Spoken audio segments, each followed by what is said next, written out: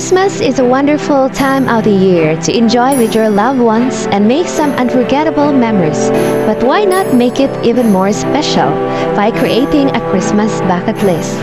Hi, my name is CJ and welcome to MCJ. In today's video, I'll share you 4 tip lists that you may add in your bucket list.